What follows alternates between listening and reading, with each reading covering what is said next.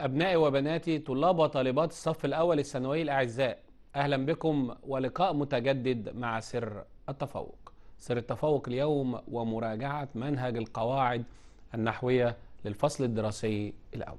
طبعا المراجعة دي بناء على طلب كل أبنائنا طلاب وطالبات الصف الأول الثانوي. المرة اللي فاتت قلنا ابعتوا لنا واكتبوا وعلقوا وقولوا أنتوا عايزين مراجعة ولا عايزين امتحان فكل التعليقات يمكن مش عايز أبالغ وأقول إن كلها أقول هم حوالي تعليقين أو ثلاثة بس اللي طلبوا إن إحنا ناخد امتحان لكن الأغلبية العظمى عايزة مراجعة نحو وبلاغة يعني كله مركز قوي على فرعي النحو والإيه؟ والبلاغة. وطبعا مش هينفع إن إحنا نعمل مراجعة النحو والبلاغة في حلقة واحدة عشان هيبقى الموضوع مش هياخد حقه. فالنهاردة عاملين مراجعة نحو يعني أي طالب ما فتحش النحو من أول السنة يتابع معانا مفيش مشاكل هيفهم وهيستوعب وهيحل.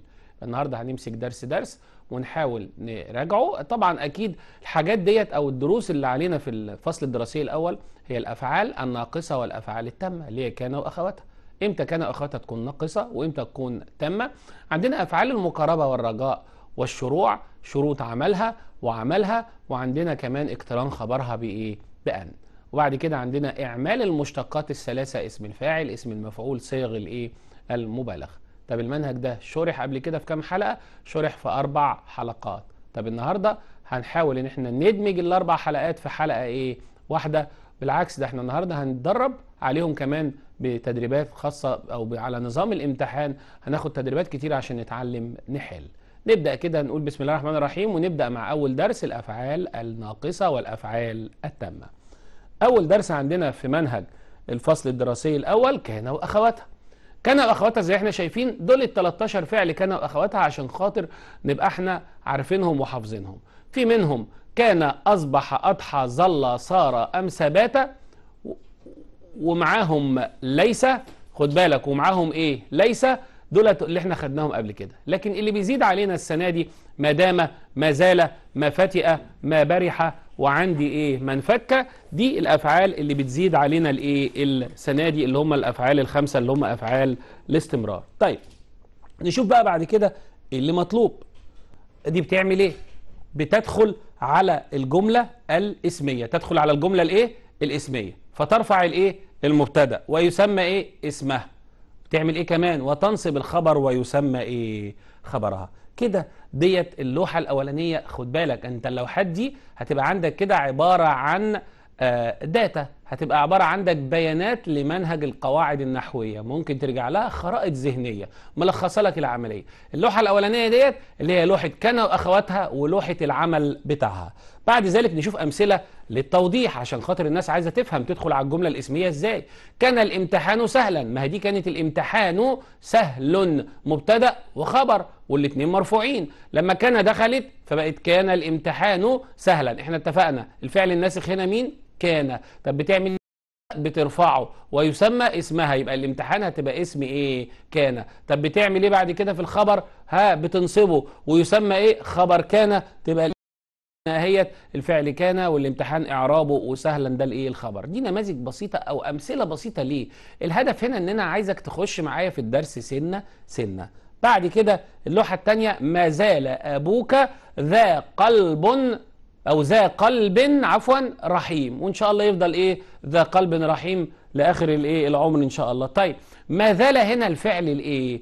الناقص ما إحنا عارفين. ده جديد علينا السنة دي اللي هي أفعال الاستمرار. ما زال ما دام ما برح ما فتئ من فك. ودي اللي اسمها أفعال الايه الاستمرار. وطبعا دي هتلاقيها في الماضي مسبوقة بما وهتلاقيها في المضارع. ممكن تبقى مسبوقة بما ممكن تبقى مسبوقة بإيه؟ بلا. يعني أنا ممكن أقول ما زال وممكن أقول إيه؟ ما يزال وممكن أقول لا يزال. المهم إنها لازم تسبق بهذا الايه النفي عشان خاطر تبقى معايا في الجملة. لكن لو ما زال دي جت فعل كده اسمه زال لوحده دي زال بمعنى انتهى. أو زال بمعنى إيه؟ آه محيا مثلا. يعني مثلا ما أقول لك إيه؟ وزالت أسباب الخلاف. يعني انتهت أسباب الخلاف. خلاص ما بقتش من إيه؟ ما بقتش من أخوات إيه؟ كان بقت فعل تام عادي. زالت أسباب الخلاف. أسباب هنا بقت إيه؟ فاعل والخلاف مضاف إليه ودي جملة إيه؟ تانية خالص. طيب نشوف بقى بعد كده اللوحة ديت. ما زال أبوك ذا قلب أو ذا قلب رحيم. الفعل الناقص هنا ما زال واسمه أبوك وطبعا أبوك مرفوع بالواو. آه يا أستاذ الله. واو يا أستاذ أنت مش قلت مرفوع بالضمة؟ لا أنا ما قلتش كده. أنا قلت ترفع المبتدأ ويسمى اسمها. ترفعه بقى على حسب علامته. علامة رفع أصلية ضمة ممكن يبقى مثنى جمع مذكر سالم أسماء إيه؟ آه خمسة. لو مثنى مرفوع بالألف جمع مذكر سالم أو أسماء الخمسة مرفوع بالواو. وهنا زاء الخبر بتاعها عشان هو من الأسماء الخمسة بتنصب بالألف هيبقى خبر ما زال منصوب. بالألف. حلو قوي كده؟ تمام. طب إحنا يا أستاذ مش عارفين الكلمة اللي بعد كان واخواتها على طول في الامتحان أحطها اسمها ولا إيه الوضع؟ خد معاك اللوحة ديت عشان توضح لك اسم كان شكله إيه. اسم كان ممكن يكون اسم ظاهر زي أصبح التلاميذ متفوقين. مين اللي أصبح التلاميذ؟ خلاص الاسم أهو. جاي بعد أصبح أو بعد كان على طول وهو اسم ظاهر. خلاص وخبرها متفوقين. ممكن يجي ضمير بارز وخد بالك ضمير بارز يعني ظاهر في الكلام. ولو جه ضمير بارز لازم يكون ضمير بارز متصل اللي هو ضمائر الرفع الايه؟ المتصلة اللي هي طبعا معروفة ضمائر الرفع اللي هي تاء الفاعل اللي هي نا الفاعلين نون النسوة واو الايه؟ الجماعة ياء المخاطبة ألف الايه؟ الاثنين الاثنين. أصبحوا متفوقين. مين اللي أصبحوا؟ هم يا أستاذ. لا ما هم دي موجودة اللي هي إيه؟ اللي هي واو الجماعة.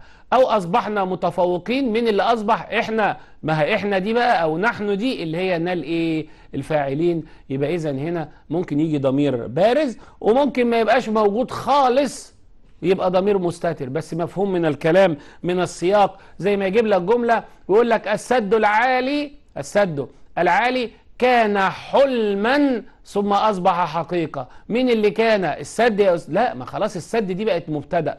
أمال مين اللي كان هنا؟ اللي كان هنا بقت ضمير مستتر تقديره هو عايد على الإيه؟ على السد. ثم أصبح أصبح هو أيضا. هنا المثال بيقول لي أصبح متفوقا. أكيد طبعا اللي هو التلميذ يبقى ضمير مستتر تقديره هو. ال X اللي أنا عاملها ديت دي مكان الضمير المستتر. خد بالك الضمير المستتر لا مش موجود لفظا ولكن موجود معنى لأنه مكمل أساسي للجملة وهو اسم أصبح. طيب أنواع خبر كان واخواتها عشان يبقى إحنا كده ادينا كل الحاجات القديمة الخاصة بكان واخواتها كان وأخواتها الخبر بتاعها ممكن يجي مفرد. يجي جملة والجملة بنوعيها جملة اسمية جملة فعلية. ممكن يجي شبه جملة بنوعيه بقى اللي هو إيه الظرف أو الجر والإيه والمجرور. طب نشوف كده مع بعض. مفرد إزاي؟ يعني كلمة واحدة عبارة عن اسم. هنديك أمثلة بعد شوية. طيب جملة يا اسمية يا فعلية.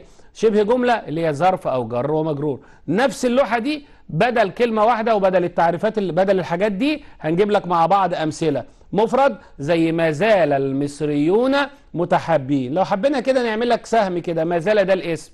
والمصريون هنا ما زال ده الفعل عفوا. والمصريون هنا اسمه. مالها؟ مالهم؟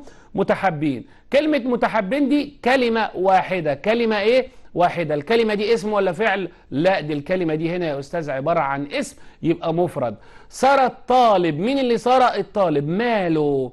ماله دي بقى؟ هتديني ثقافته واسعة. آه ثقافته واسعة على بعضها. دي يا أستاذ دي جملة. جملة إيه؟ جملة اسمية. لاحظ فيها إيه؟ لاحظ فيها ضمير يعود على الإيه؟ على اسم كان. اللي هي ثقافته. الهاء عايدة على الإيه؟ على الطالب. ده بيسمى الرابط. ودي تبقى جملة اسمية. لكن أمسى الطالب عرفنا إن الأمسى الطالب أمسى إيه؟ يذاكر. طب ما يذاكر يا أستاذ كلمة واحدة. يعني خبر مفرد. أقول لك خطأ. إجابتك خطأ. شرط إن يكون كلمة واحدة والكلمة دي تكون اسم. إنما لو كانت فعل ما هي بقت فعل والفاعل بتاعه ضمير مستتر وإحنا اتفقنا الضمير المستتر كيانه موجود في الجملة. هو الركن أساسي هنا في الجملة لأنه فاعل. مين اللي بيذاكر؟ يذاكر هو. عايدة على الطالب. يبقى الرابط هنا ضمير إيه؟ مستتر ويبقى جملة فعلية. طب إدينا أمثلة للشبه جملة نشوف أهو. ليس أخي في البيت. آه في البيت. وظل الأب بي بين أبنائه بين آه هنا ظرف يبقى ده شبه إيه؟ جملة. دي كده أنواع خبر كان وأخواتها. ادينا تطبيق تطبيق بسيط. ظل اللاعبون يتدربون. فين هنا الخبر بتاع ظل؟ ما هو يسال نفسك مين اللي ظل؟ اللاعبون. ظلوا إيه؟ يتدربون. يبقى الخبر يتدربون. كلمة واحدة؟ آه. وخد بالك هي مش كلمة واحدة عشان تبقى عارف هي كلمتين. يتدرب الفعل وهو الجماعه الضمير الإيه؟ اللي هو الضمير المتصل وده يعتبر كلمة. يبقى إذا هنا يتدربون ده الخبر وده فعل. يبقى ده خبر جملة إيه؟ فعلية. وطبعا واو الجماعة هي اللي ربطت ما بين جملة الخبر وإيه؟ والاسم آه ما بين جملة خبر ظلة واسم ظلة طيب مثال آخر. أصبح الطالب مستواه جيد. هنا مين اللي أصبح الطالب؟ طب الخبر بتاع أصبح إيه؟ مستواه جيد وده جملة اسمية. وهنا طالب هيسألني سؤال مفروض ما يسألوش بس أنا حاسس إن بعض الطلبة بتحب تسأل الأسئلة ديت. يعني حاسس بيكوا. إيه إيه السؤال دوت؟ هقول لك يا أستاذ قلت لنا كان بترفع المبتدأ وتنصب الخبر. يبقى مستواه جيد دي جملة اسمية. لما نيجي نقول له نقول له دي إيه؟ خبر أصبح مثلا في المثال هنا خبر أصبح منصوب بالفتحة ولا بالألف ولا بالياء ولا مش عارف إيه؟ هقول لك طبعا إجابتك مش مظبوطة. هي هنا مستواه جيد على بعضها دي جملة اسمية. مستواه مستوى هنا مبتدأ مرفوع والهاء ضمير مبني في محل جر مضاف إليه وجيد خبر المبتدأ مرفوع بالضم. والجملة بقى اللي هي جملة مستواه جيد على بعضها. من المبتدأ وخبره في محل في محل خد بالك في محل نصب خبر إيه؟ أصبح. طيب هنا تاني أمثلة أضحى الفلاح في الحقل. طبعا اللي أضحى الفلاح في مكانه الطبيعي اللي هو في الحقل فيه حرف جر والحقل مجرور يبقى شبه إيه؟ جملة. وهنا لما أقول بات الطالب مفكرا هنا مين اللي بات؟ الطالب بات إيه مفكرا؟ ده الخبر. وهنا بقى ده اللي كلمة واحدة ويعتبر هنا إيه؟ نوعها اسم. يبقى مفرد. يبقى في فرق ما بين بات الطالب مفكرا ده نوعه مفرد. وبات الطالب يفكر وده نوعه هنا جملة إيه؟ فعلية. خد بالك إحنا ما نعرفش في الامتحان طبيعة الأسئلة. اللي بيحط الأسئلة دلوقتي مفتوح عنده ملعب مفتوح. خلاص الامتحان يعتمد على الفهم. يعني شوف سؤال زي ده ممكن انت تستهتر بيه إن يجيب لك بات الطالب يفكر وبات الطالب مفكرا. ها ويقول لك نوع الخبر في الجملتين على الترتيب ويحط لك بقى يقول لك مفرد جملة فعلية ولا جملة اسمية جملة فعلية ولا مفرد مفرد ولا جملة فعلية جملة فعلية يلخبطك كده. فأنت هتختار الاختيار الإيه؟ المناسب. لأن النحو طبعا تراكمي ما تقدرش تلزمه بمنهج معين. آه هو هيركز على منهج هذا العام ولكن بيجيب لك حاجات من مناهج الأعوام الإيه؟ السابقة. تعالى كده نشوف الأفعال الناقصة ممكن تبقى أفعال تامة. عشان كده نبقى أول درس خلصناه. الأفعال التامة هي أصلا كانت أفعال ناقصة في الأول مثلا كان أخواتها. إذا اكتفت بمرفوعها ولم تحتاج إلى منصوب يعني لم تحتاج يعني إلى منصوب ها في الحالة ديت بقت تامة. وبالتالي يا أستاذ تامة طب اللي وراها اسمها يعني مثلا أو هنا إيه أصبح الصبح لما نقول مثلا أصبحنا وأصبح الصبح الصبح هنا يا أستاذ هنا إيه مين اللي أصبح الصبح؟ يعني جه الصبح. فالصبح هنا تامه قصدي الصبح هنا هتبقى المرفوع. يتعرب اسم أصبح؟ لا ما أنت لو اعربته اسم أصبح ملزم إن أنت تجيب الخبر. أمال يعرب إيه يا أستاذ؟ يعرب فاعل. يبقى الفعل التام يرفع فاعلا ما يرفعش اسم. يرفع إيه؟ فاعلا. طيب خد بالك عشان الطلبة بتتلخبط. يقول لك يا أستاذ آه كان مثلا إيه الطالب متفوقا؟ مين اللي كان يا أستاذ الطالب؟ كان إيه متفوق؟ الجملة كملت يا أستاذ يبقى كان تم. أقول لك خطأ. هي كان تم لما ما تحتاجش الخبر لكن هنا كان الطالب وسكت محتاج إن أنت تقول متفوقا. اذا هي من غير هي محتاجة الخبر فهي ناقصة. فإذا كان اللي ليها اسم وليها خبر تبقى كان ناقصة. واللي ليها فاعل فقط تبقى كان إيه تم. واللي يسري على كان يسري على باقي إيه أخواتها. تعالى كده نشوف مع بعض المثال بيقول اجتهد الطلاب فكان النجاح. مين اللي كان؟ النجاح يبقى النجاح فاعل على طول لأن مفيش خبر وكان هنا تبقى تامة. يبقى لما نديها لك كده في خريطة ذهنية ونقول الأفعال الناقصة ظل ظل الطالب يذاكر. اشتغل معايا. مين اللي ظل؟ الطالب. حلو أو فكان النجاح. طيب مين اللي ظل؟ الطالب. ظل إيه؟ يذاكر. يا أستاذ دي احتاجت لخبر يكمل معناها يبقى دي ناقصة. وهنا فكان النجاح أي تحقق النجاح وقع النجاح حدث النجاح تم النجاح. يبقى هنا مش محتاج خبر تبقى كان تامه وبالتالي لما أقول ظل الطالب يذاكر نفس المثال حتى أصبح الصبح خلاص عرفنا إن ظل هنا إيه؟ إن ظل هنا ناقصة. وأصبح الصبح يعني جاء الإيه؟ الصبح. يبقى في الحالة ديت هنا الصبح فاعل تبقى أصبح تامة. دي كده كانت كان وأخواتها بالقواعد. ندي كده مثالين يوضحوا العملية عشان خاطر نخش على الدرس اللي بعده. يظل المؤمن يعبد الله ما دامت الحياة. عندي فعلين كده من الأفعال الناقصة. إحنا واخدينه هنقول بقى عليها الأفعال الناسخة. من الأفعال الإيه؟ الناسخة. نمرة واحد يظل. هتسأل نفسك سؤال مين اللي يظل؟ الإجابة هتجيلك المؤمن. أنت اللي هتجاوب برضه. طب يظل إيه؟ يظل يعبد الله. خلاص محتاج. يعبد الله أنت محتاجها. يبقى يظل هنا ناقصة. يبقى في الحالة دي المؤمن تتقال عليها إيه؟ فاعل مرفوع بالضمة ولا اسم يظل؟ أكيد طبعا اسم يظل مرفوع بالضمة. ما دامت الحياة. آه يعني إيه ما دامت أو مين اللي ما دامت؟ الحياة. محتاج حاجة؟ محتاج حاجة تتم؟ لأ. إذا ما دامت بمعنى ما بقيت. ماشي؟ وتبقى هنا ما دامت فعل تام والحياة هنا فاعل وتبقى إجابتي أهيت الإجابة النموذجية للمثال دوت. طيب. صبرنا فكان النصر. خلاص صبرنا فتم النصر. فوقع النصر. يبقى النصر فاعل وكان فعلا إيه؟ تاما بمعنى تم أو إيه؟ أو حدث. دي كانت كان وأخواتها نخش بقى على كده وأخواتها كلها عائلات عائلات جاية مع بعضها. فأنت لازم تبقى عارف إيه؟ عارف القانون بتاع هذه الإيه؟ العائلة. خلاص خلصنا كان أخواتها وعرفنا القانون بتاعها إنها تدخل على الجملة الإسمية ترفع المبتدأ وتنصب يسمى اسمها وتنصب الخبر ويسمى خبرها.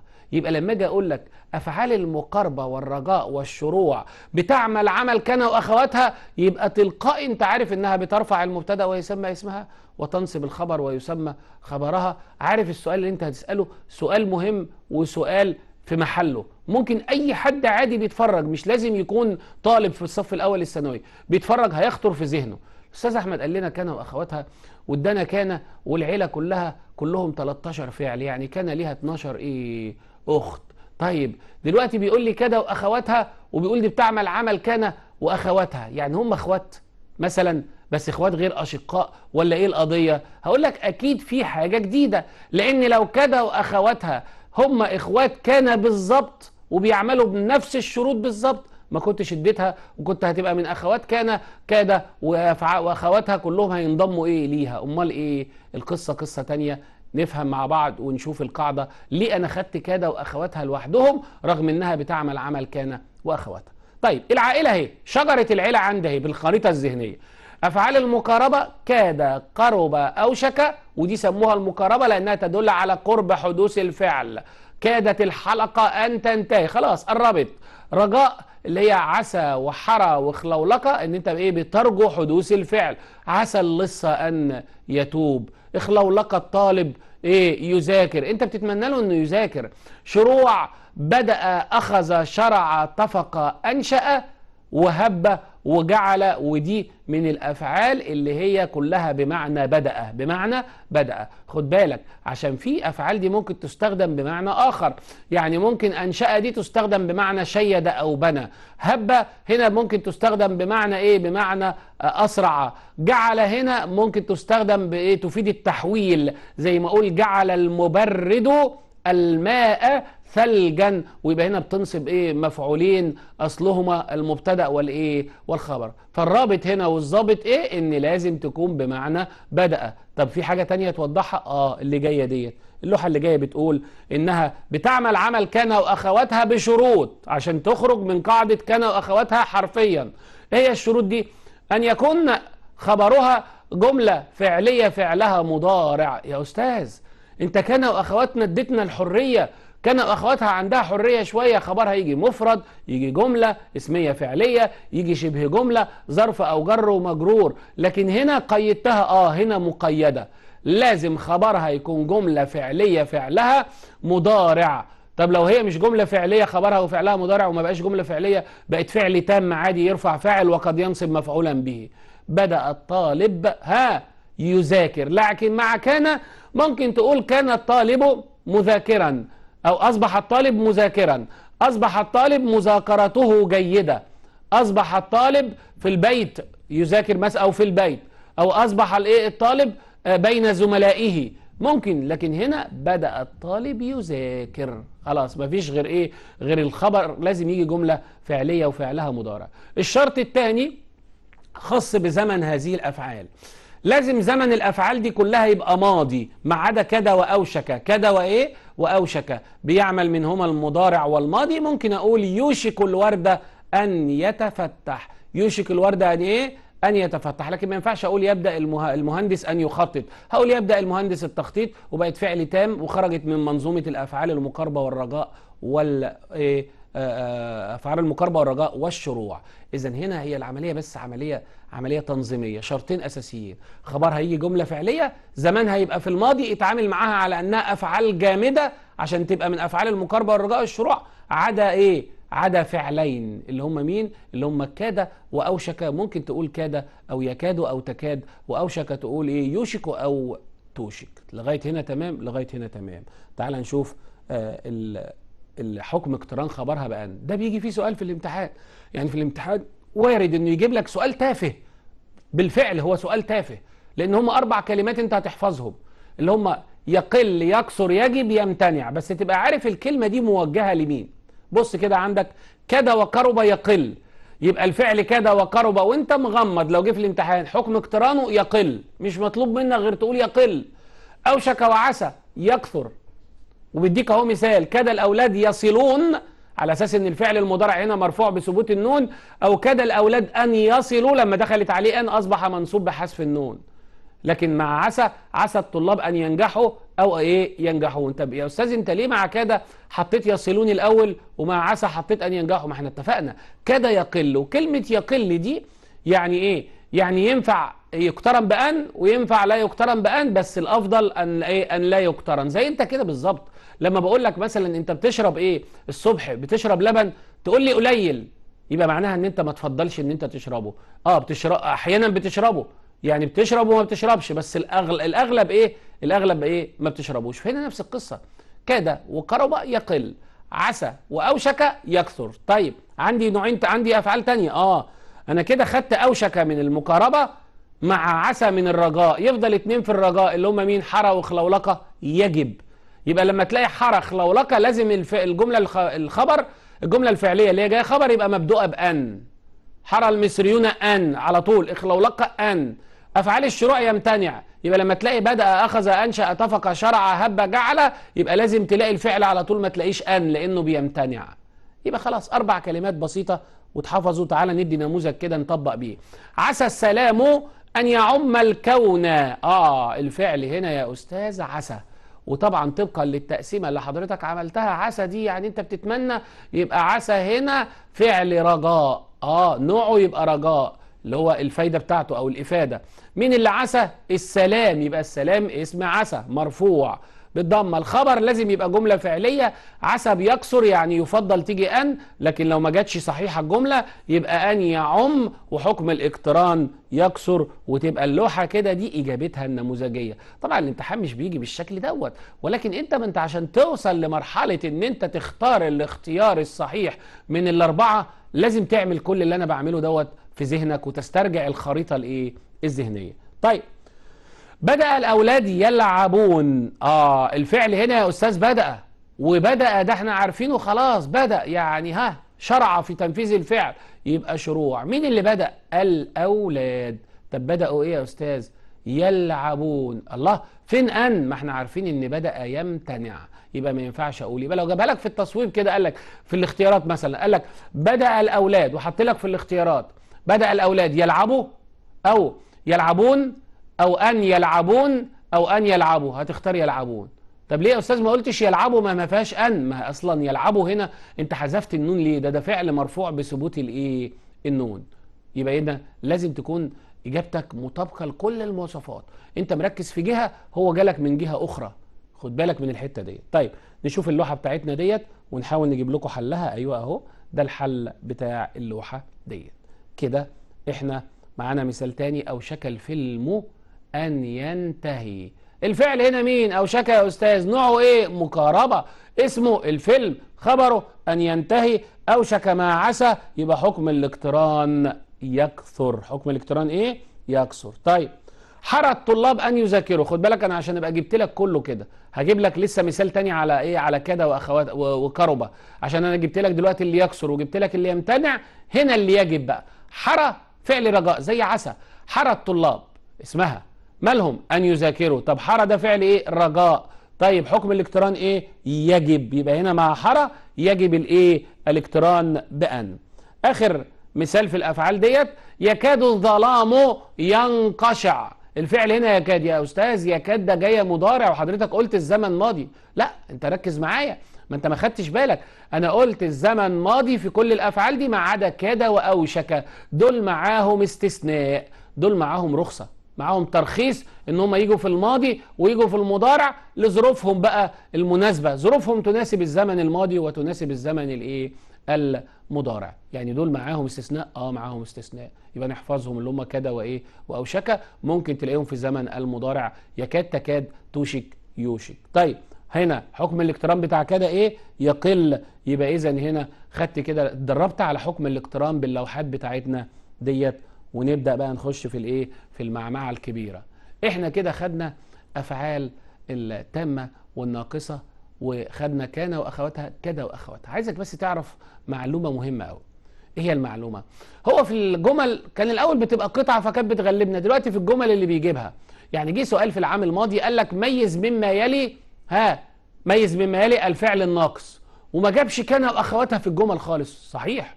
ما هي كده وأخواتها أساسا هي تعتبر أفعال ناقصة برضو لما يكون ليها اسم وليها خبر جملة فعلية خلاص بقت أفعال إيه؟ أفعال ناقصة. يعني مش شرط يا أستاذ إن ما يقول لي فعل ناقص يبقى كان واخواتها لا مش شرط. ما هو المثال ما كانش فيه أصلا أي جملة فيها كان واخواتها طيب يا أستاذ افرض قام حاطط لي جملة فيها كان واخواتها وثلاث جمل تانيين فيهم أفعال المقاربة والرجاء والشروع. لازم تتأكد إن كان أو أخواتها في الجملة دي ناقصة. ما ممكن يجيبها لك تامة ويبقى هو بيلخبطك. لا. انت لازم تاخد بالك وتبقى قاعد مصحصح للايه؟ الامتحان وإحنا قلنا في حلقات سر التفوق يمكن قبل الحلقات كان في حد بيسألني قبل الحلقة على مراجعة إزاي الطالب يراجع قلت خلاص الموضوع ان انت تمسك ملزمة مراجعة وورق وتمسك مثلا حاجة فيها 30 20 ورقة تقول هم دول ما فيش الكلام ده انتهى خلاص. دلوقتي انت لازم تحل امتحانات كتير لأن انت دلوقتي بتتدرب على نظام ولا يعني إحنا بندربك على نظام لا نعطيك إيه أسئلة تأتي بعينها إحنا بندربك على النظام بنديك أفكار مشابهة لأفكار الايه الامتحان. يبقى العملية دلوقتي بقت ال ال عايز أقول إيه الحاجة الاعتماد الأساسي بقى على عقل الطالب ولازم الطالب يبقى عنده العقلية الناقدة. الحاجات اللي بتحتاج شرح إحنا بنشرحها لك. الحاجات اللي بنعلمك إزاي ان انت يبقى عندك الفحص للسؤال وتعرف تختار الإجابة الإيه الصحيحة. كل ده الحمد لله عملناه على مدار الحلقات الإيه السابقة ولسه معانا حلقات من هنا لغاية آه ليلة الامتحان. كلها إن شاء الله هتبقى مهمة ومفيدة. تعال بقى نشوف طالب بيسألني دلوقتي إحنا اتفقنا إن في طالب قاعد قدامي ما فتحش كتاب النحو من أول السنة. ففهم الحمد لله الدرسين فهمهم. طيب هيفهم اللي جايين؟ هيفهمهم إن شاء الله. فالطالب ده اتفاجئ. قال لي اعمال المشتقات اسم الفاعل صيغ المبالغة اسم المفعول. يا أستاذ إحنا خدناهم السنة اللي فاتت بس أنا مش فاكرهم. اذا الدرس ده اذا هنا الجزء ده منقسم لشقين. الجزء الأولاني اللي هو الصوغ اسم الفاعل وصيغ المبالغة واسم المفعول ودي مهارة المفروض إن الطالب طالع بيها من العام الماضي. يعني المفروض إن هي أصلا مش مشروحة في الكتب هذا العام المفروض يتشرح له الإعمال. لكن إحنا طبعا هنحاول نحط الطالب بتاعنا على المسار السليم. كل المدرسين بيعملوا كده اللي هم كل الزملاء معلمي ومعلمات اللغة العربية. يجي للطالب يقول له اسم الفاعل. تعالى كده بص معايا هوريك اسم الفاعل تعمله إزاي. صوغ اسم الفاعل. قال لك لو عندك فعل ثلاثي يبقى اسم الفاعل اسم الفاعل بتاعه على وزن فاعل. يعني أنت في الامتحان لما يجيب لك مشتق ويقول لك حدد نوعه يبقى انت لازم تبقى عارف المشتق دوت إيه. فانا لقيت كلمة كاتب على وزن فاعل تبقى اسم فاعل ثلاثي يا أستاذ. يبقى كتب كاتب طرى طائر أخذ آخذ آخذ دعا داع وممكن تبقى داعي. طيب دي هنبقى نتكلم فيها. غير الثلاثي عندك الفعل غير ثلاثي زي استفاد هجيبه إزاي يا أستاذ؟ قال لك هات المضارع جنبه على طول يستفيد. صح كده؟ وشيل حرف المضارعه سواء قلت قلت يستفيد أستفيد نستفيد تستفيد اللي هي حروف انيته دي كلها مضارعه شيل حرف المضارعه حط بداله ميم مضمومة اكسر ما قبل الآخر تلقائي اديتك إيه؟ مستفيد. ده مثال كده يا أستاذ لما تبينها لي كده بطريقة أوضح. هقول لك بص للوحة اللي جاية ديت. خد الفعل فوق كده تسلح. السهم نزل لإيه؟ يتسلح. ده المضارع. ميم مضمومة بكسر ما قبل الآخر متسلح. فيقول لك إيه؟ كن طالبا متسلحا بالعلم. أكرم يكرم مكرم. الأب أو نقول مثلا الرجل مكرم ضيفه. تعاون يتعاون متعاون. كلنا متعاونون. يعني كلنا بنتعاون. إحنا اللي بنعمل الفعل. آمن يؤمن مؤمن. بإذن الله كلنا إيه؟ مؤمنون. طيب إذا هنا أوزان بقى صيغة المبالغة. كده خلاص أنا عرفت اسم الفاعل. أوزان صيغة المبالغة هم خمس أوزان محفوظين.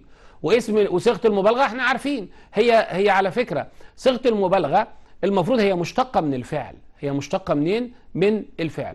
ولكن هي طبعا لما بنيجي نتكلم بنقول إن هي بمعنى اسم الفاعل بس بتبا... بت- يعني بتعبر عن الكسره يعني الفرق بينها وبين اسم الفاعل إن هي فيها الكسره في حدوث الفعل. في فرق بين صادق وبين صدوق. صدوق كثير الإيه؟ الفعل. كمان بيجي ساعات في الامتحان يقول لي حول اسم الفاعل لصيغة إيه مبالغة. لكن هي بتشتق من الأفعال الثلاثية غالبا ونادرا ما تشتق من الفعل الغير إيه ثلاثي اللي هم بيجوا من غير الثلاثي حاجات بسيطة اللي هي بتبقى في وزن في الغالب بتبقى في وزن مفعال زي معطاء من إيه من أعطى ومغوار من إيه من أغارة ومفضاء من أفضى وهكذا. طيب تعالى كده هنا نشوف الخمس أوزان. فعول فعيل فعال وهنا فعول زي عطوف شكور صدوق. وفعيل رحيم سميع حفيظ. تاني عطوف شكور صدوق رحيم سميح آه حفيظ. طب فعال زي غفار وتواب وجذاب. يبقى فعال زي غفار وتواب وإيه؟ وجذاب. دول كده اللي هم الأوزان الثلاثه لكن في وزنين تانيين اللي هم مفعال وفاعل. مفعال زي معطاء مقدام مغوار. وفاعل زي حذر ويقظ ونشط. حذر ويقظ وإيه؟ ونشط. طيب نشوف بقى بعد كده. عايز بس أقول حاجة برضو لأبنائي عشان ابنائي ابنائي اللي متابعيني. إحنا هنحاول في آخر إن شاء الله في آخر ربع ساعة كده نعمل إيه؟ يبقى في تليفونات تتصلوا بينا يعني في آخر ربع ساعة عشان خاطر هيبقى في تدريبات. بس أخلص شرح الدرسين اللي فاضلين. هيبقى في تدريبات. خش بقى وشارك معايا. شوف أنت فهمت إيه وتعلمت إيه في الحلقة دي وفي الحلقات ال- السابقة. وشارك معايا في حل الايه في حل ال- التدريبات. يبقى النهارده عايزين منك مشاركة مع الحلقة. طيب مفعال زي معطاء ومقدام ومغوار وفعل زي حذر وزي يقظ وزي نشط. أنا مطلوب مني أطلع صيغة المبالغة في الامتحان خلي بالك. هو في الأغلب الأسئلة هيقول لك المشتق ده نوعه إيه مثلا؟ أو يقول لك اعرب ما تحتها خط. فأنت لازم تبقى عارف الكلمة اللي حاطط لك تحتها خط. هل هي في جملة فعلية ولا في جملة اسمية؟ ولا هل هي وقع معمول لاسم فاعل ولا اسم مفعول ولا صيغة مبالغة؟ طب إحنا كده عرفنا أوزان اسم الفاعل. اوزان صيغة المبالغة. لسه ما اتكلمناش عن العمل. طب اسم المفعول؟ قال لك من الثلاثي يجي على وزن مفعول زي معروف محفوظ مكتوب معلوم. يعني إيه؟ ما هي عرف معروف وحفظ محفوظ وكتب مكتوب وعلم معلوم. استنى يا أستاذ إيه اللي أنت بتقوله ده؟ إيه عرف؟ إيه حفظ؟ إيه كتب؟ إيه آه علم دي؟ ليه بتقول كده؟ ليه بتعمل كده؟ ما هو أصلا أنت لازم تعرف إن الذي ضرب فهو ضارب. أما الذي ضرب فهو مضروب. الله يعني إيه؟ يعني اسم الفاعل بجيبه من فعل مبني للمعلوم لكن اسم المفعول بجيبه من فعل مبني للمجهول. يبقى في الامتحان لما يقول لي الفعل أو اسم المفعول محفوظ فعله إيه؟ وحط لي اختيارات هختار المبني للمجهول اللي متشكل بالضم في أوله وكسر قبل الآخر هختار حفظ مش هاخد حفظه هاخد حفظ. هو ده اللي أنا إيه؟ اللي أنا هاخده. طيب غير الثلاثي ادي الفعل استخرج ها بقى إيه؟ بقى يستخرج. برضه مبني للمجهول. شيل ياء المضارعه حط ميم مضمومة افتح ما قبل الآخر مستخرج. طيب بتوضيح بأمثلة كتيرة. اهي ثقف يثقف مثقف. في فرق. المعلم مثقف ها تلاميذه. أنا بثقفك يبقى اسم فاعل. لكن التلاميذ مثقفون. في حد اللي بيثقفهم اللي هو إيه؟ المعلم وهكذا. استطاع يستطاع مستطاع. أنت تستطيع فأنت مستطيع. إنما اسم المفعول يستطاع يبقى مستطاع. احترم يح يحترم محترم. أنت محترم غيرك يبقى اسم فاعل. لكن أنت محترم من الناس اسم مفعول. خد بالك التشكيل مش قصة في الامتحان مش بالنسبة لك. بالنسبة اللي فهم اللي فهم الجملة لو ما عملكش تشكيل انت فاهم من السياق. في فرق قوي ما يقول لك المعلم ويجيب كلمة الكلمة محترم أو محترم. المعلم ويجيب الكلمة ويقول من طلابه. خلاص تبقى محترم مش محترم. تبقى محترم. إذا السياق هو اللي بيحدد. أعاد يعاد معاد. ويمكن السنة اللي فاتت جه في الامتحان اللي هو أعد وكان طبعا اسم المفعول بتاعها اللي هو معد. اسم المفعول بقى من الثلاثي المعتل. آه دي حاجة كده إيه إضافية إن ممكن يبقى الفعل معتل زي قال أو باع وده معتل أجوف. هنا قال ليه؟ وباع ليه؟ لأن قال معتل واوي قال يقول. وباع معتل إيه؟ الأجوف اليائي باع يبيع. في الحالة دي بتحط ميم مفتوحة على الفعل المضارع. قال يقول مقول. باع يبيع مبيع. مش مطلوب منك إن أنت تعرف أو إن أنت تقول ليه اتقلبت ليه حطيت واو وشلت لأن دي فيها حاجات فيها قواعد كتيرة مش مكررة علينا. المهم قال يقول مقول باع يبيع مبو مبيع. فأنت لو جاب لك صام تقوم كقايل كده صام يصوم يبقى مصوم. ماشي؟ طيب صنع يصون مصون. طب لو كان ناقص يعني آخره حرف علة برضه هنا في ناقص واوي وناقص يائي يعني دعا هات المضارع. يدعو مدعو. هدى. يهدي مهدي. ده ناقص إيه؟ يائي. يبقى كده خدنا كيفية صوغ اسم الفاعل اسم المفعول صيغ المبالغة. أنتوا عارفينهم بس أنا باخد الكلام ده ليه؟ لأن الجمل أو السياق حاجت الجمل نوعين. ممكن في الأسئلة يجيب لي مشتق ويقول لي نوعه إيه فلازم أبقى عارف ده اسم فاعل ولا اسم مفعول ولا صيغة مبالغة. وممكن يجيب لي فعل ويقول لك حوله لاسم مفعول حوله لاسم فاعل. فأنت لازم تكون عارف هتعمل إيه. طيب إحنا عرفنا كده يا أستاذ اسم الفاعل من صيغة المبالغة من اسم المفعول. الإعمال ده إيه؟ أو اللي ح... الجديد علينا السنة دي إيه؟ الجديد أهو. الجديد إن شروط إعمال المشتقات. إذا كان المشتق معرف بقال يعمل مطلقا زي القائل الصدق محبوب خلاص. القائل الصدق محبوب. يبقى القائل هنا على طول. هنا هي إيه؟ القائل هنا هي اسم الايه؟ الفاعل في ألف ولام القائل الصدق عامل لأنه بيعمل بلا شروط. الكتوم السر محبوب بس طبعا أنا ما قلتش هو عامل عمل إيه يعني. لسه لأن دي في اللوحات اللي بعد كده. الكتوم السر محبوب خلاص. الكتوم يعني الذي كتم السر. إذا هي معرف بقال يبقى عامل دي صيغة مبالغة.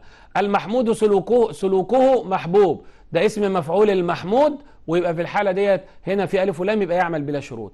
حتة بقى مهمة عايز أقولها.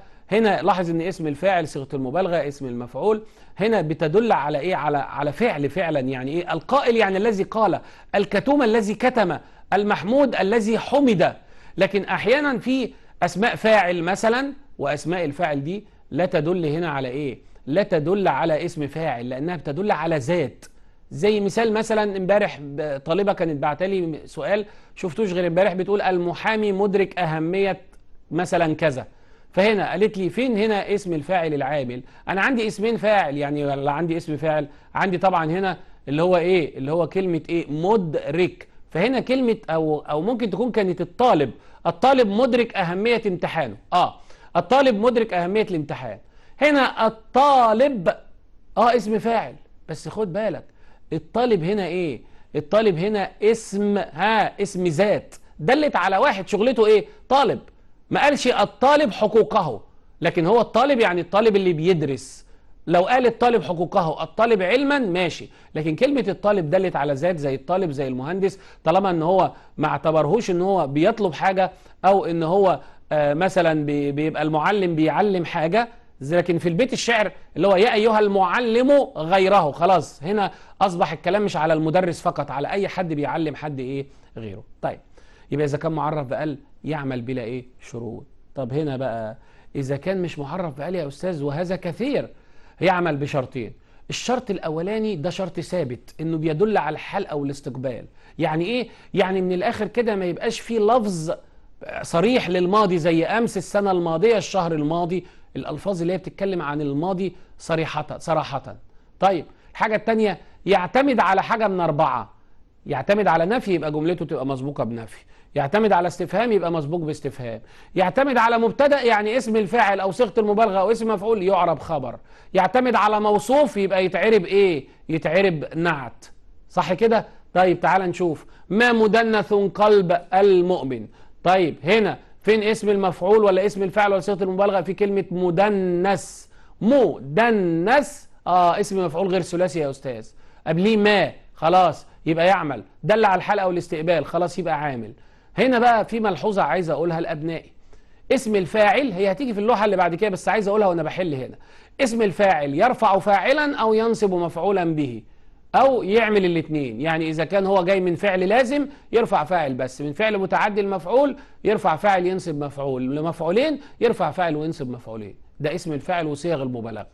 إنما اسم المفعول يرفع نائبا للفاعل. يرفع نائبا للإيه؟ للفاعل.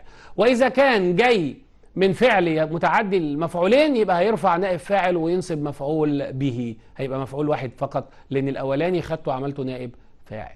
ما مدنس قلب المؤمن؟ هنا يعمل. من اللي مدنس؟ قلب. يبقى قلب هنا تبقى إيه؟ تبقى نائب فاعل. أمسافر أخوك؟ أمسافر أخوك غدا؟ آه مسافر اسم فاعل يا أستاذ. دل على الحال أو الاستقبال ده حتى بيقول لي غدا. ها معتمد على استفهام. من اللي مسافر أخوك؟ يبقى أخوك هنا معمول اسم الفاعل ويتعرب فاعل. المؤمن شاكر ربه يا أستاذ ربه يا أستاذ. المؤمن هنا اسم فاعل بس دلت على ذات مش هطلعها. المؤمن ها شاكر. شاكر إيه؟ مين اللي شاكر؟ ها المؤمن. طيب هنا شاكر هنا تتعرب إيه ما هو ما فيش يا أستاذ لا استفهام ولا نفي. وهنا دل على الحلقة والاستقبال. آه. هنا كلمة شاكر تعرب خبر يبقى معتمد على مبتدأ. شاكر مين؟ شاكر ربه. آه يبقى شاكر هو ربه. يبقى المعمول الاسم الظاهر هنا لكلمة ربه هيبقى مفعول إيه؟ به. المثال اللي بعده هذا طالب فطن عقله.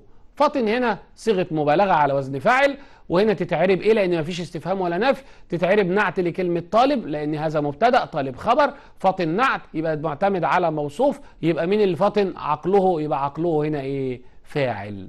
جاء الطالب راكبا خلاص راكبا دي حال. يا أستاذ أنت ما قلتلناش حال دي. الحال هنا لو كلمة اسم الفاعل اسم المفعول صيغة المبالغة جاءت حالا جاءت إيه؟ حالا أو جاءت إيه؟ خلي بالك أو جاءت منادى منون زي يا طالبا علما. خلاص يبقى هنا بيعمل معايا. يبقى جاء الطالب راكبا يبقى هنا بيعمل وهنا راكبا إيه؟ دراجه المعمول بتاعه دراجه هتبقى مفعول به.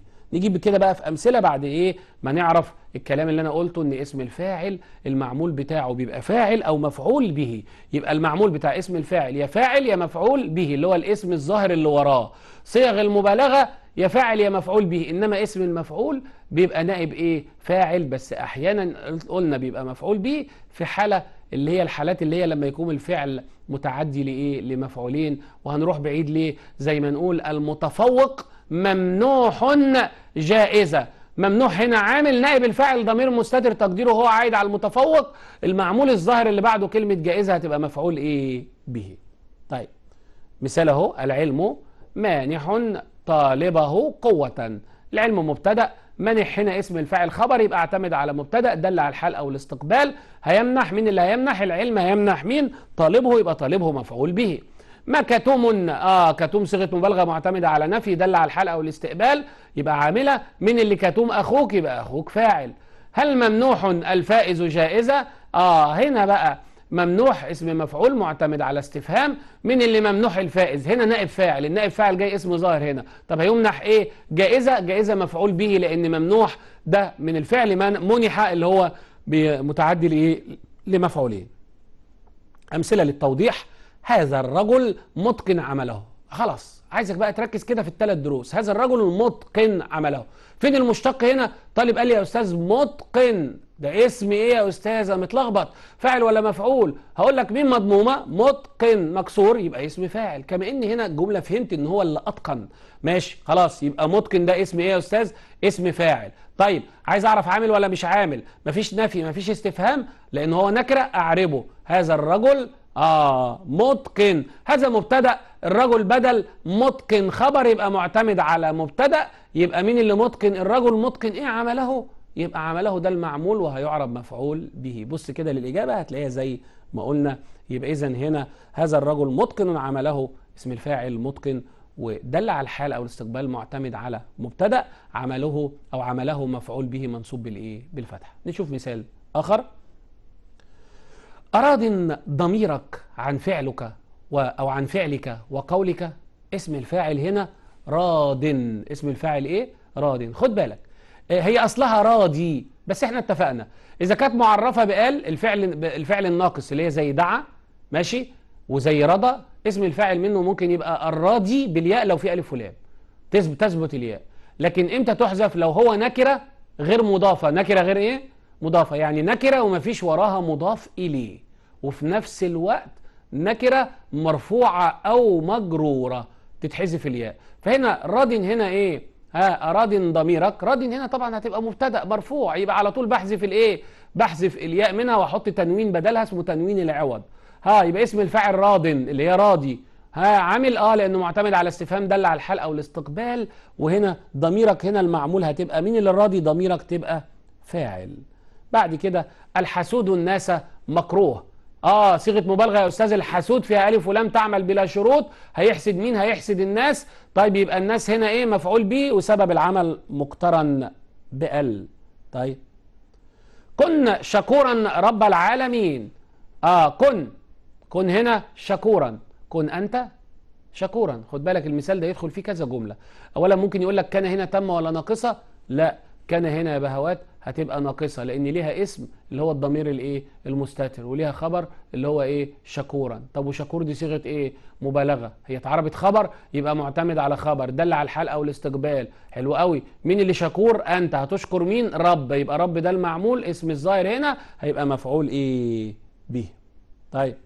ما؟ آه. واحد بيقول لي دي يا أستاذ أقراها مهمل ولا مهمل؟ ما ها انت عايزك انت تقول ما شيء من أمور الدين في القرآن؟ ينفع أقول ما مهمل شيء من أمور الدين في القرآن؟ مهمل؟ اولا مش ماشية مع الجملة.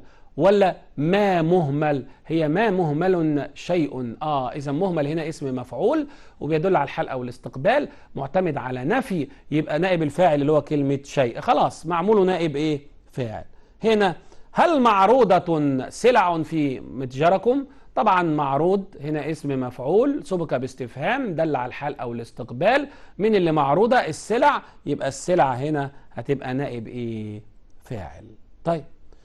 الفائز مرفوع رأسه. آه الفائز مرفوع اسم مفعول حال أو استقبال بس ما فيش نفي أو استفهام يا أستاذ. اعربها. الفائز مبتدأ مرفوع خبر. يبقى معتمد على مبتدأ يبقى على طول رأسه نائب إيه؟ فاعل. دي بقى تدريبات نحوية على نظام آخر العام. نشوف كده. ما تحته خط يعرب. خلاص هندخل هنلخبط كده الأوراق وهندخل لك الدروس كلها في بعضها. انت لازم تعرف الدر... الجملة دي تبع أنهي قاعدة.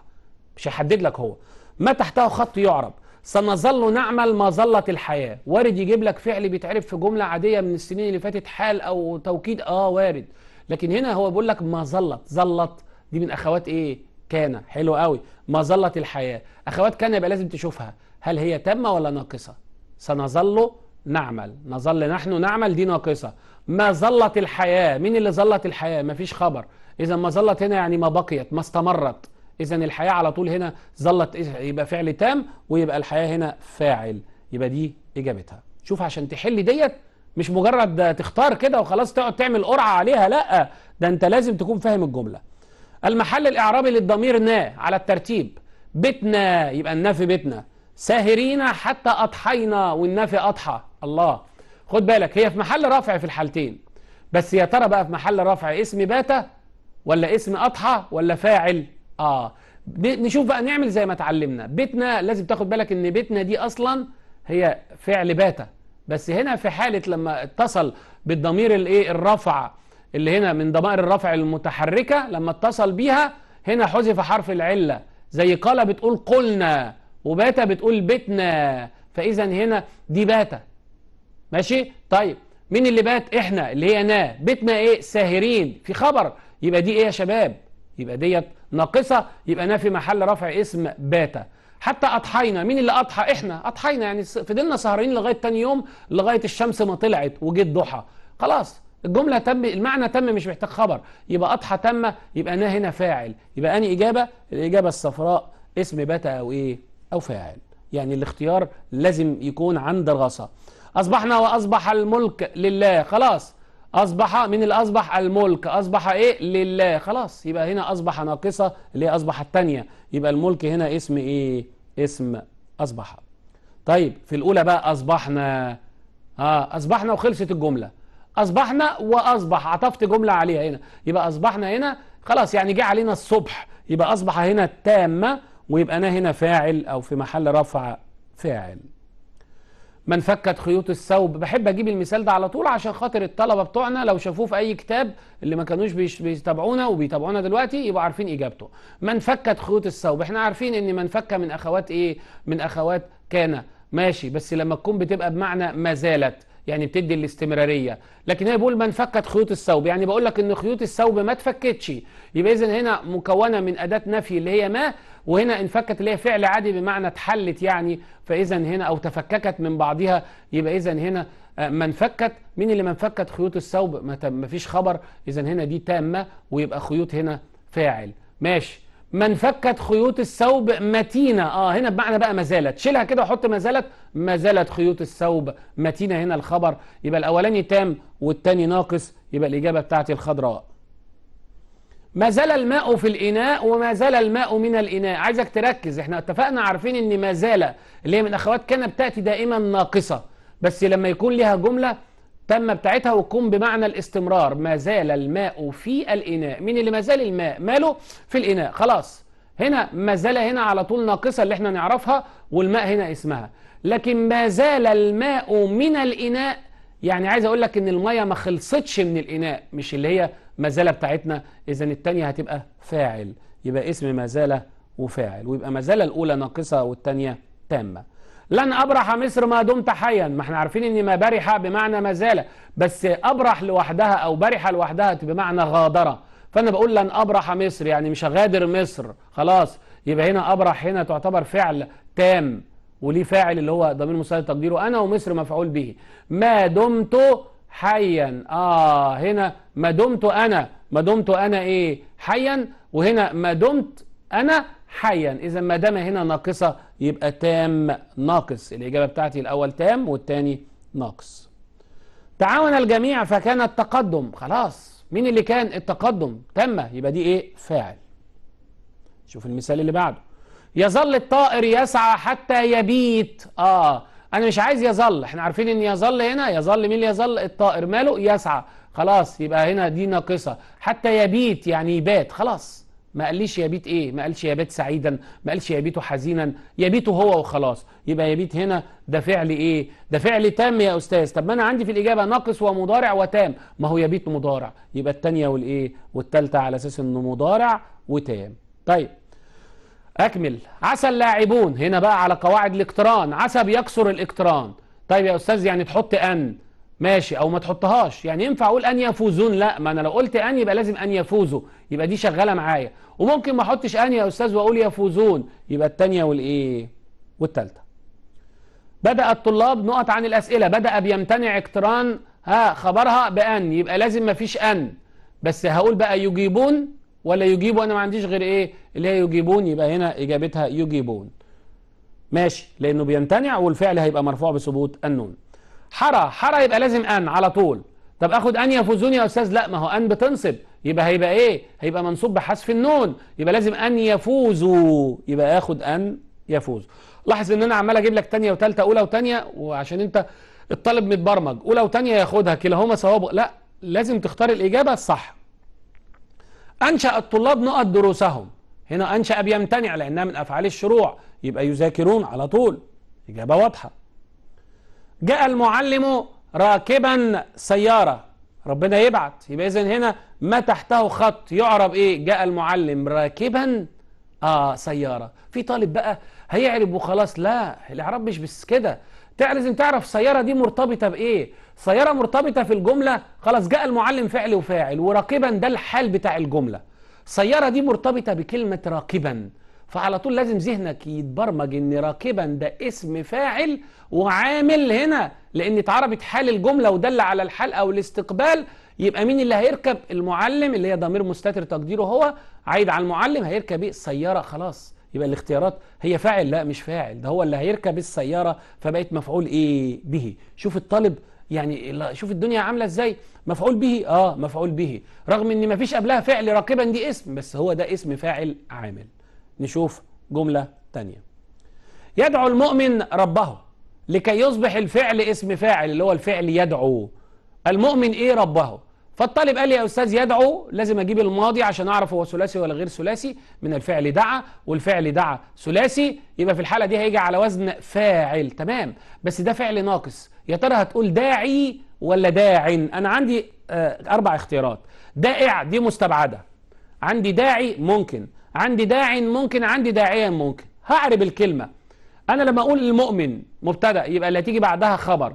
ومفيش وراه مضاف إليه. ليه مفيش وراه مضاف إليه؟ لأن في المثال اللي فوق يدعو المؤمن ربه وكلمة ربه هنا مفعول به. فلازم أحافظ على المعنى. فعشان تفضل مفعول به يبقى لازم أنونها. هعتبرها مرفوعة وما فيهاش وراها مضاف إليه. يبقى لازم أقول له إيه؟ داع. يبقى الاختيار الصحيح داع. المؤمن راجن النجاة. سبب عمل اسم الفاعل هنا إيه؟ اللي هو راجن. ماشي؟ سبب العمل مفيش يا أستاذ استفهام ولا نفي لأنه نكرة. طيب هو دل على الحلقة والاستقبال؟ آه. طيب هو عايز الاعتماد. هو معتمد على إيه؟ هعربه بقى هنا. المؤمن مبتدأ راجن خبر يبقى معتمد على مبتدأ. دي الإجابة بتاعت السؤال. المؤمن داع ربه لسه قايلينها. خلاص داع اسم فاعل عامل يبقى هيدعو هو ربه مفعول به. طيب عرفت طالبا يقظا عقله. خد بالك ساعات صيغة المبالغة بتلخبط الطلبة لأنه بيقول لك مين اللي يقظ؟ ده الطالب يقظ. إيه عقله؟ ده مفعول لا طبعا الكلام ده مش مظبوط. عرفت طالبا يقظا آه ده صيغة مبالغة عاملة. ماشي؟ يقظا إيه؟ العقل هو اللي يقظ يبقى تتعرب فاعل. طيب أنا ليه ما قلتش سبب العمل؟ عشان هنقوله أهوت. عرفت طالبا يقظا عقله. سبب عمل صيغة المبالغة إيه؟ إحنا متفقين إذا الكلمة ما تعرب ما فيش قبلها نفي أو استفهام اللي هي الكلمة النكرة. وكانت داله على الحلقة والاستقبال أعربها. هتبقى خبر تبقى داله معتمدة على مبتدأ. نعت تبقى معتمدة على موصوف. حال يبقى نفس القصة كأنها معتمدة على موصوف. فهنا سبب عمل صيغة المبالغة. نعرب. عرفت أنا فعل وفاعل. طالبا اللي هي طبعا تاء الفاعل هنا هي الفاعل. طالبا مفعول إيه به؟ آه ماله الطالب ده يقظا يبقى دي نعت يبقى معتمد على موصوف. لا تكن مفضيا الأسرار. سبب عمل اسم الفاعل وفي اسم فاعل آه طبعا اللي هي كلمة مفضي من الفعل أفضى. سبب عمله هنا اعتماده على إيه؟ على نفي ولا استفهام ولا مبتدأ ولا موصوف. نجيبها من الأول كده. في هنا هنا بيقول لا تكن دي ناهية. لا أنا عايز نفي مفيش نفي مفيش استفهام هعربها. لا تكن أنت مفضيا. خبر خبر يبقى في الحالة ديت معتمد على إيه؟ معتمد على مبتدأ. طيب آخر مثال معانا ما محبوبة صفة الإهمال؟ عشان يبقى خدنا اسم المفعول معانا. ما تحته خط يعرب صفة هنا مرتبطة بمحبوبة ومحبوبة هنا اسم إيه؟ مفعول واسم مفعول إيه؟ عامل لأنه اعتمد على إيه؟ نفي ودل على الحال أو الاستقبال وصفة هنا معمول اسم المفعول وده فعل لازم عادي يبقى يعرب نائب إيه؟ فاعل. كده أنت خدت؟ مراجعة كل دروس النحو بتاعت منهج الفصل الدراسي الإيه؟ الأول. خدنا تدريبات عليها وفيها وقتنا هو اللي حكمنا إن إحنا ننهي حلقتنا. فأشكركم أبنائي الأعزاء على حسن استماعكم وأشكر زملائي العاملين بقناة مصر التعليمية على جهدهم الوفير. وأسأل الله عز وجل أن يحفظ بلدنا مصر من كل سوء ومن كل داء وأن يكون النجاح حليفكم دوما أيها الأبناء. والسلام عليكم ورحمة الله وبركاته.